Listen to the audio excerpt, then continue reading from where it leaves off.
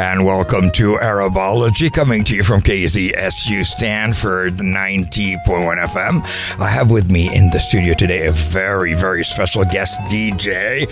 His name is DJ Qais. Hello, DJ Qais. Hello. كيفك اليوم؟ أنا I'm great.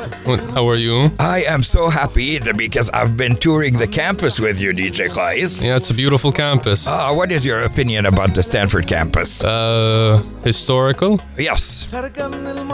And? Uh, like, what did you like?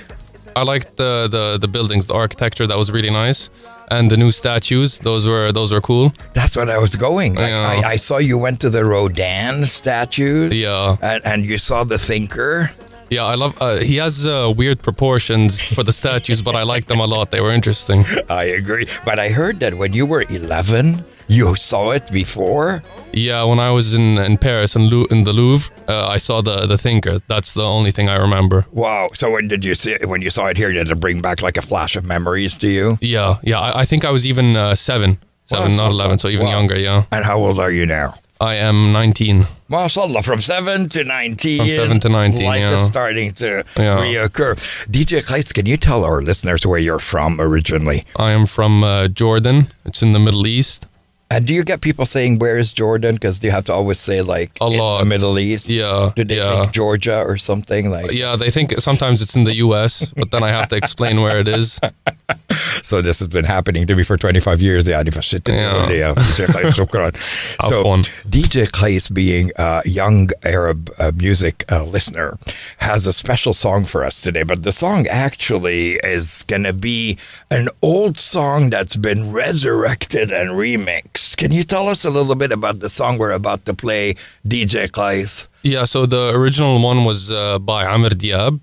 ما شاء الله هذا Yeah. قبل ايام عمرو دياب is my day before you were not born. Yeah, but uh, there was a remake. Uh, there was a collaboration between Maya Diab and uh, French Montana. Oh wow, Maya Diab and Amr Diab, they must be related. No, no, they're ac- it's it's weird. They're actually not, uh, even though they have the last name. That's so weird. You like know. 20 years later, Maya Diab does the remake of Amr Diab but isn't related. to She might have Amr done the song because she only has the last same Wow, last she's name. like cashing in on Yeah. the last name. mashallah. And of course, Amr Diab is an Egyptian singer, whereas Maya Diab is Lebanese. Yeah. But in the remake, she is joined by. French Montana. Wow. Yeah, That's yeah. pretty hot. It's an interesting mix. Yeah, Wow. And it's still called Habibi Anur al Ain. yeah. طب, uh, a little translation for our American listeners who don't understand what Habibi or Nur al Ain mean. My love, the light of the eye, kind of. Anud Zafir ولا أصطبي؟ Thank you, Anud. شكراً, شكراً. Yeah, Yeah. of course, in English it sounds kind of weird. Like you Yeah. are the light of my eye. Yeah, word to word translations from Arabic بس to English are بالعربي weird. حلوة right? Yeah, بالعربي, Like you are the uh, very light of my two eyes.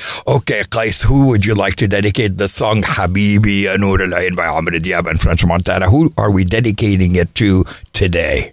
Uh, I'll dedicate this song to uh, my family Oh. who uh, came with me to America, and uh, we've had a pretty fun trip together until now. Wow. Yeah. You know, this is going into the Stanford archive. In 20 years, they'll be able to hear you say this. Uh, And I hope I'll, I'll be happy to hear it in 20 years. Habibi. So, what's your mom's name? Uh, Dima, And your dad? Anwar, And your sister? Anud, And you are? Qais. And the song is Uh, Habibi ya ya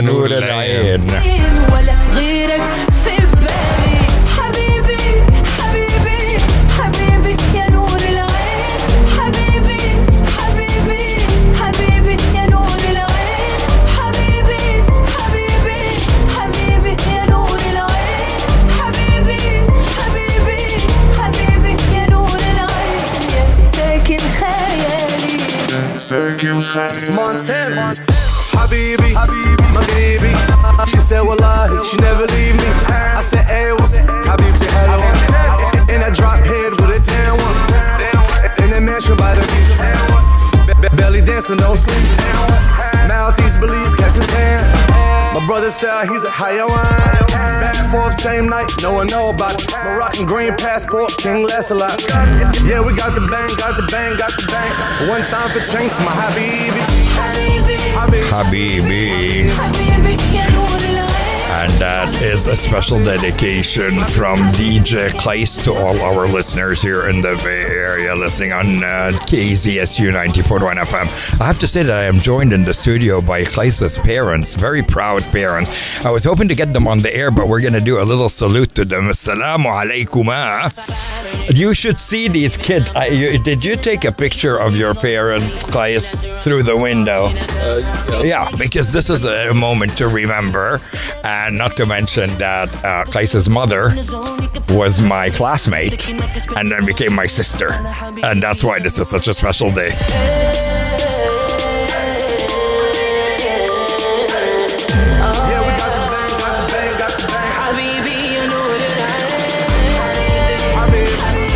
Montana and uh, Lebanese singer Maya Diab and a duet called Habibi Anurain. It is a remake of the original by uh, Amr Diab, which was released back in the 80s. Shukran to DJ Qais. I am now joined in the studio by someone who's actually related to DJ Qais, and her name is so awesome.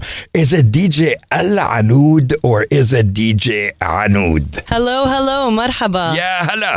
How are you? We are good. What is your name, young lady? My name is Al Anud Dabbas. I love that name. Thank Can you. we please explain how a first name could begin with an al that everybody knows it means the? Because you're not just Anud. You are Al Anud, the Anud. Can you explain to us what your name means? Yeah, so my name actually has uh, several different meanings. One of them means the first uh, gazelle in a herd of gazelle. Um, also means um, hardworking, uh, but it also means stubborn as well. Oh my god! So you got a mix of all these meanings. Wow, wow. I mean, you know, I, I, I love American names, but they don't mean much, right? Yeah. Somebody tells you my name is Peter. What does that mean? you Yeah. know? But then you hear somebody called DJ Al Anud, and you want to listen to more. Now, it's an Arabic name. Is it? Uh, yeah. It's actually originally a Bedouin name. wow. And you are originally from Jordan. Yeah, I am. Ah, t- t- tell us a little bit about your experience of studying in the U.S. We know you just graduated. Yes, I did. Hey, so so we do a little uh, مبروك uh, واحد اثنين مبروك مبروك قاعد بتعرف تزغلط لا ما بنعرفش so she just graduated, and we are so proud of you. Thank uh, you. And you've been touring Stanford today, right? Yeah. But, but, tell us a little bit about your experience of you know your university experience at Davis, right? Yeah, yeah it yeah. was at UC Davis. Um, it's been actually amazing, um, very interesting. I had a lot of fun, met a lot of amazing people from all around the world. Wow. Honestly, I wouldn't change it for a thing. Uh, when I first came to Davis, honestly, I thought it was in the middle of nowhere. I thought I was coming to California, you know. Uh, I was like, where am I in the middle of nowhere? Uh, no ocean, no palm trees. And then slowly, slowly, as the days went on, Davis grew on me, and now um, it's a second home. Do you feel sad about leaving? Um, it hasn't hit me quite yet because I think, you know, I haven't really packed the last of my things. So.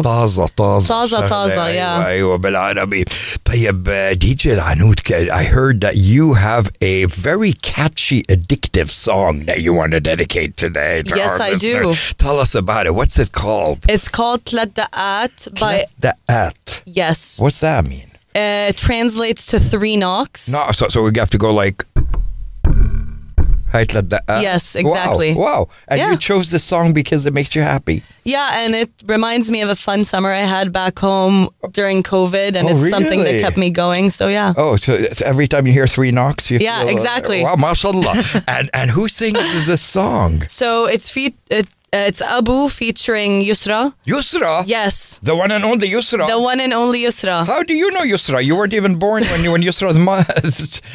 How do we do we know who Yusra is? Yeah, she's actually considered. Uh, she's Egyptian, and she's a glamour, glamorous icon for the Middle East. Who and she was also an actress, and now she's also featured in the song. But I mean, you know, we shouldn't add to say her age, maybe because she probably won't like it. But let's say she's over eighty yeah, but she looks young as ever. And she's singing yeah. with Abu, yeah. who is like what her son's age, maybe. Probably. ما Yeah, the song is about دقات. Yeah. طيب, uh, uh DJ Anud, tell us who would you like to dedicate the song to? Um, I would also like to dedicate it to my mom, brother, and father because um, they helped me get through college and get to where I am today and put up with all of what I had to go through wow. and supported me through everything. With my brother also coming in every now and then to annoy me in my own room. Of course, we all need one of those. Exactly. You know? DJ Qais, DJ Lanud, and their parents, uh, Dima and Anwar. Nawaru. Your father's Nawaru. name, Anwar. Exactly. Nawar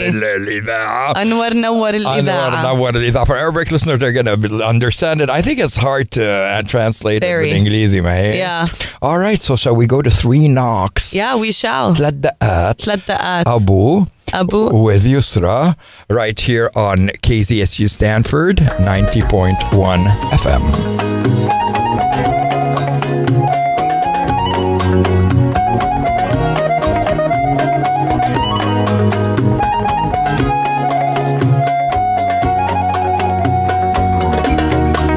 وتمر شهور وسنين على يومها ومش ناسين انا شفتك امتى حب العمر وشفتك فين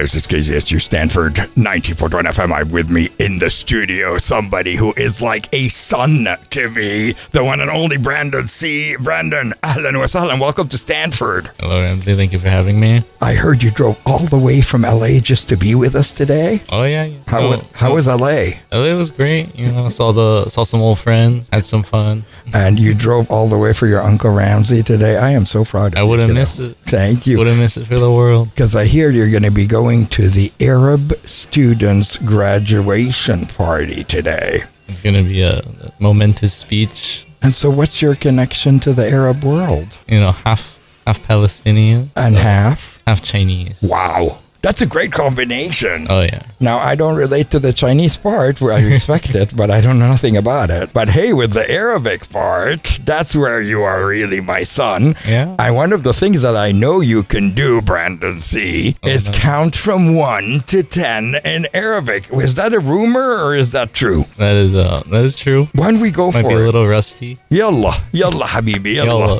يلا واحد واحد اثنين اثنين ثلاثة أربعة خمسة ستة سبعة ثمانية تسعة عشرة Flawless, flawless. That is my nephew, ladies and gentlemen. You're listening to Brandon C right here on the Arabology Show. Now, Brandon, I know there was a song you wanted us to play for our listeners today. What's that? Was it the Jay Z? Well, that already got played though. Well, we Yeah, could run but it back, run it back, Big Pimp. right right right exactly now Yeah. you said that you liked that song I was playing it on the way up. before you even knew that it was like abdul halim hafiz Mhm. So like then you, I made you hear the original, and then I made you hear the remix in the car. Mm-hmm. Like, what did you think? There's something special about like that Arab sound. You know, it, it catches anyone's ear. Big pimpin', baby. That's right. Big pimpin', spinning cheese. G G G G G.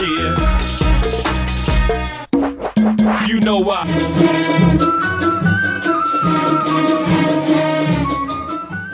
It makes you want a dubke, doesn't it? Oh yeah. Okay, now you know that our listeners here in the Bay Area aren't going to know what a dubke is. Would you mind, Brandon, explaining what a dubke is? They're, they're going to think it's a meal. Okay, it's a, it's it's a sort of traditional dance. You do it at any sort of function with Arabs, weddings. Have you done it, celebration. Brandon C? Oh, absolutely. And I Absolutely. have the videos to prove it. Brandon, when you play, I mean, he's such an, an Arab. When you play a dubke, he can't sit down. He just gets up and brings everybody up, and we just start stomping away. It really it really helps people like come out of there. Their shell, you know. Right. Like even people who are usually like shy and whatever, you they hear a dubke, suddenly they're on the dance floor going, mm. whoa. Because you're just a piece of the puzzle, you know. Thank you so much, Brandon C, for saying it the way it is. I am so proud of you, kiddo. And we're gonna be doing a dubke later on, inshallah, today. Oh. Thank you so much for being my guest today on the Algie Show. Oh, anytime. All right, here's some dubke for everybody.